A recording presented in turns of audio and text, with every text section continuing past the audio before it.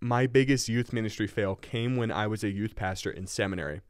One evening for a youth group, I was reading on the passage that had sexual immorality in it. However, instead of saying sexual immorality, I continually said sexual immortality.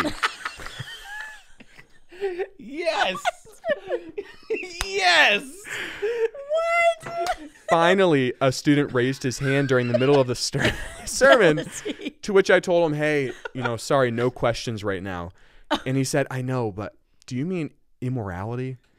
Immediately, I realized what I had been saying, which was sexual immortality, the entire sermon. And the worst part is, I was even working on my master's degree and still made this mistake. you know who this sounds like? Is something like Dwight Schrute would say, like, "I am sexually immortal." Yes.